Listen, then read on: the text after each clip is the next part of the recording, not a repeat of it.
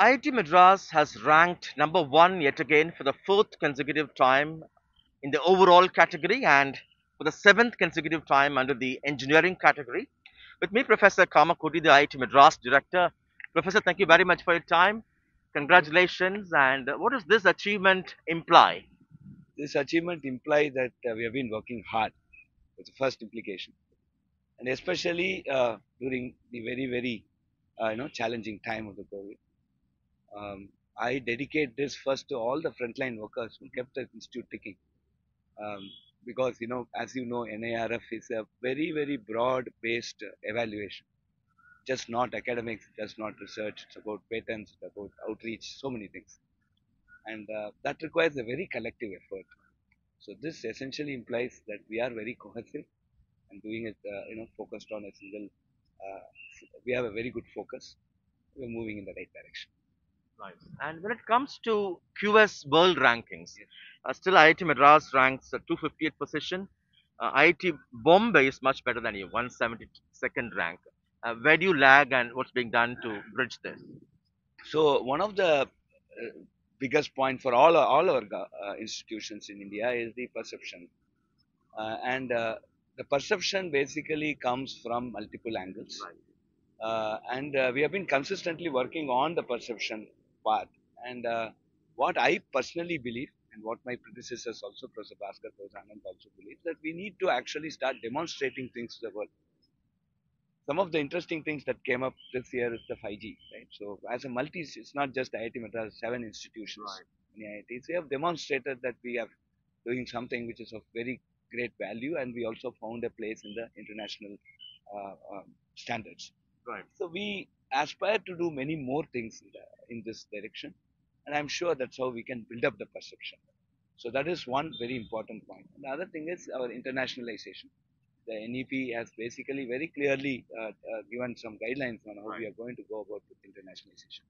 So we have started uh, 10 uh, interdisciplinary MTech programs, uh, and we are tying up with uh, multiple countries to Right. come here. One such uh, MOU was signed on May 16th uh, in the presence of Honorable PM uh, uh, between IIT Madras and Kathmandu University on energy systems, MTech in energy systems. It's a joint degree program and we will be opening up many such joint degree Right. program. And uh, the campus will also see, uh, thanks to the receding pandemic, and hopefully we'll also see much more international presence. I think these two are very important, and once we settle that, I think we can start competing in a very better. Is tech focus going to continue? What are the emerging areas for which IIT Madras is now preparing itself? Absolutely, tech focus is going to continue. We are uh, we are now an institute of eminence, and the way uh, the funding of the institute of eminence is channelized at IIT Madras, we have identified around 68 projects of uh, uh, real tech focus, and that the phase one it has been an explorative phase.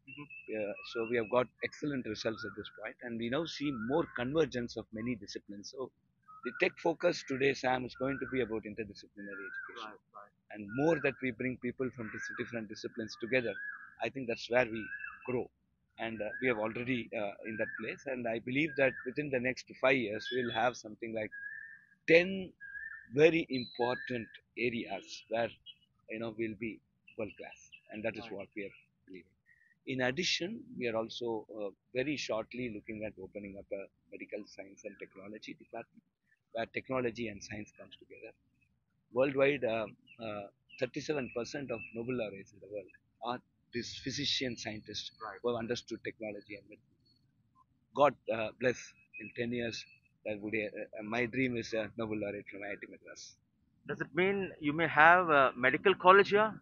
Uh, it essentially means that we will have a medical science department here and we will have affiliated hospitals here. That's the model that we are looking at. So we will have uh, uh, affiliated hospitals who will basically be working together with us. Right.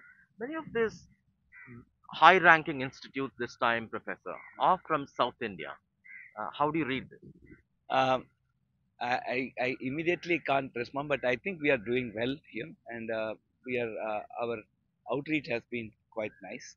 Uh, I'm very happy to see many many colleges coming up, uh, both from Chennai and also Coimbatore and many other places. Uh, we have also started fine tuning ourselves to the ranking mechanism. I think ranking is very important for the country, right? We, uh, so as the uh, uh, Honorable Minister of Education mentioned in his talk that if I admit as a parent, if I admit a kid in a school, I should know where it is, right, which rank it is. I think that is one aspect.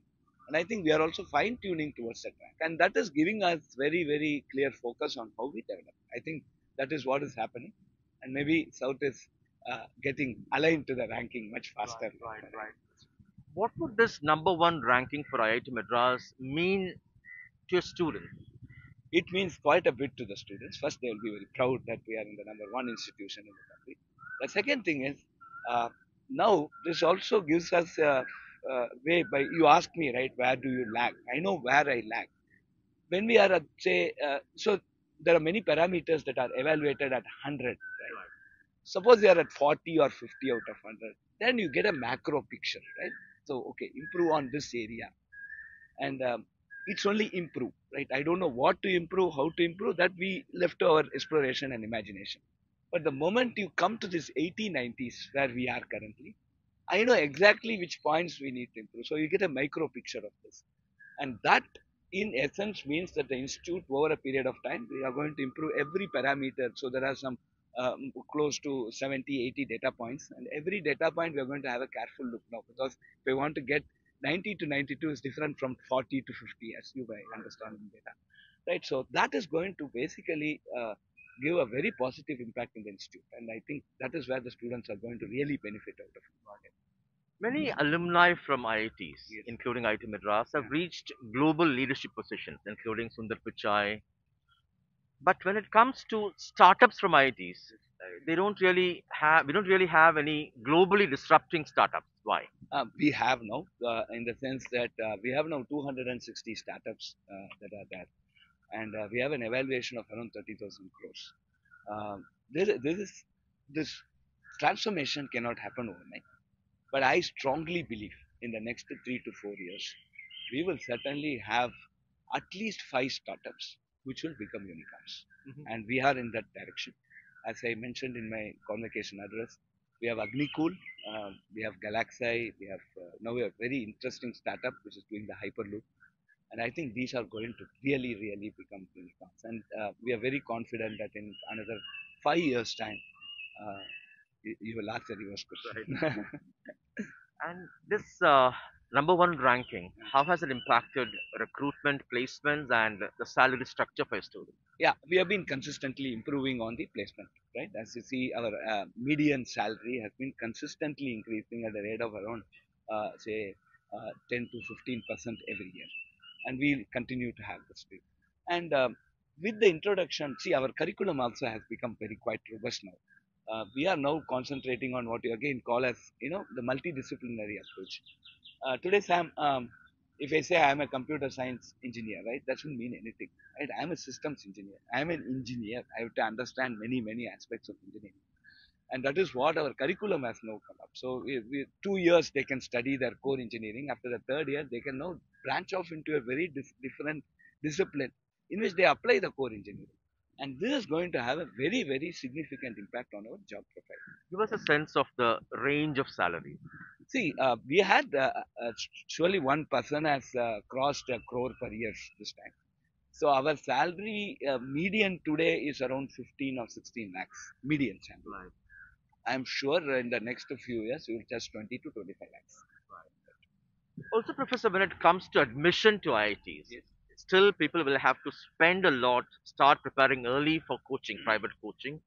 And the perception is only the affluent sections largely make, make it. Do you think that's unfair? No, now we have given a very very nice route. Now we have, have this data science program where it is only a qualifying examination. It's not an entrance examination. We have around 12,000 students so far. And please note that this is going to be the most engaging field today, the most job oriented field today. And we have already 12,000 students. We are actually going to the, uh, thanks to the government of Tamil Nadu, we are going to the rural schools today. We are training the candidates to write that qualifying examination. We have multiple programs on it. And I'm sure that accessibility is going to really bring IIT Madras as an institution for all. For your flagship programs, can't you admit students on the basis of their marks in class 12 exams? Uh, it, will be uh, for the flagship program, data science itself is a flagship program. d- No, for today, a B, BTech. uh, BTech again, it has to come through a JEE process because we do have a limitation on the number of seats that we can occupy physically on the campus. And when, when we have a limitation or a cap on the number of seats, we need to go through a process, right? And a fair process. And uh, entrance exam seems to be the only fair process. And so if you want to come out of that process, that means I should not have a cap on the number of seats. And this data science offers it. And what we are happy about is as a big as type of placement that a BTech student will get, the same data science student also will get. And now we have made it as a four-year BS program. Mm. Now, then after that, there is a gate in data science now, so they can come for an MTech.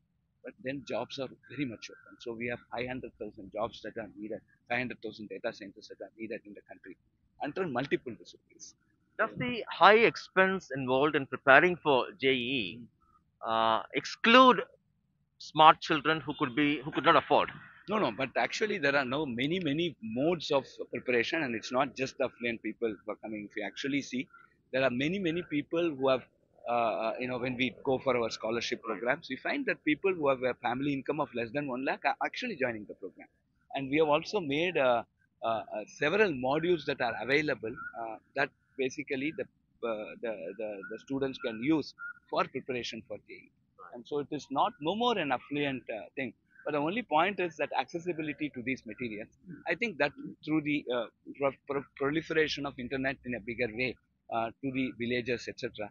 I think this will be a matter of time where people are coming. But it's not now just an affluent uh, people entering because we do see significant amount of less than 1 lakh, less than 5 lakh per annum people entering into this.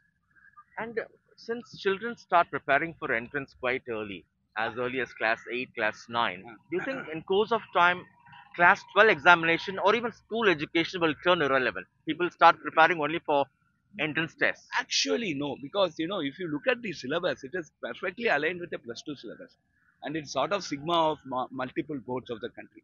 So, by preparing for this, they actually get a very good grounding in science, right? For example, I prepared very well for mathematics for JEE in 1984. Okay, I didn't clear chemistry, so I didn't get into J, uh, in the IIT BTech program.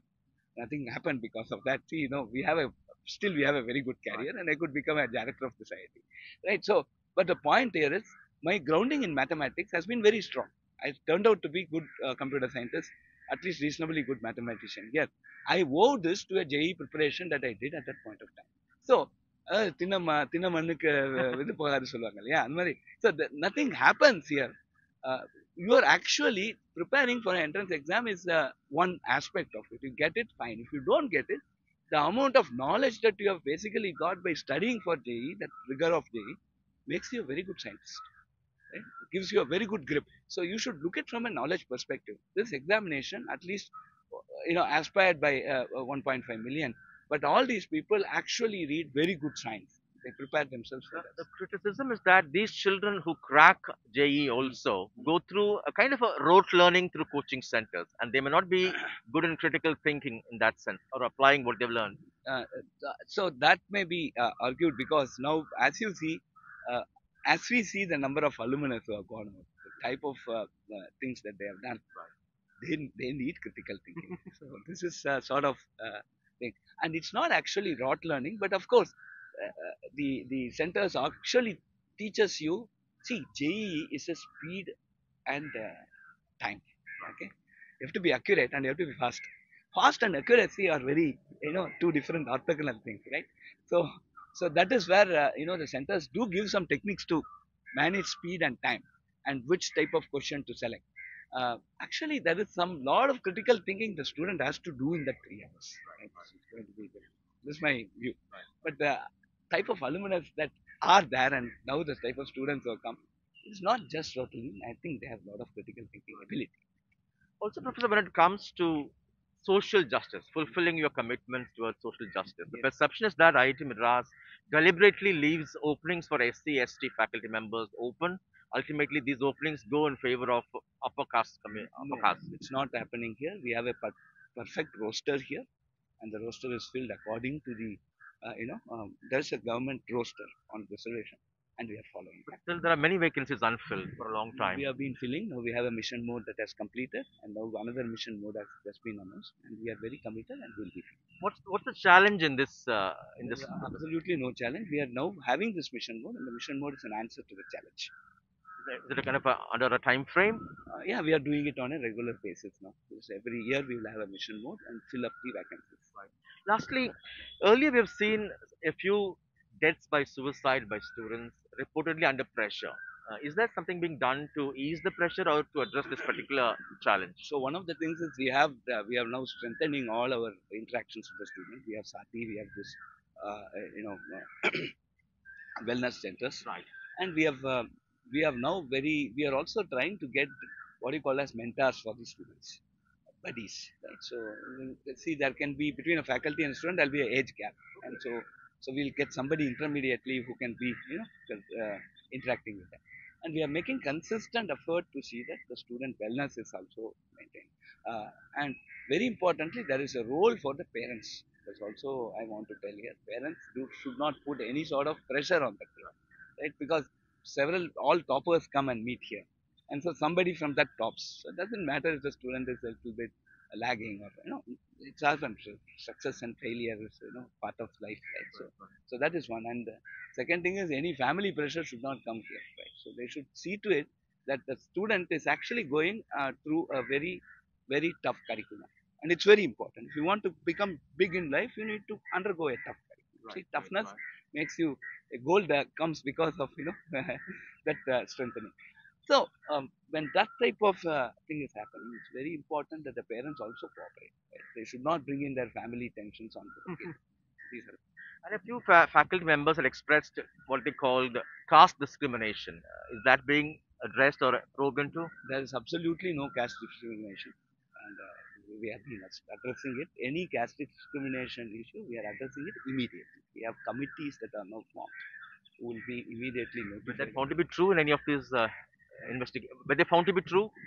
Uh, no, none, in- none, none, none in the recent past after our Thank you, Professor, for your time. That was Professor Kamakoti, the IIT Madras director, talking to us as the institute ranks number one in national ranking state again in Chennai with Suresh, Sam Daniel, NDTV.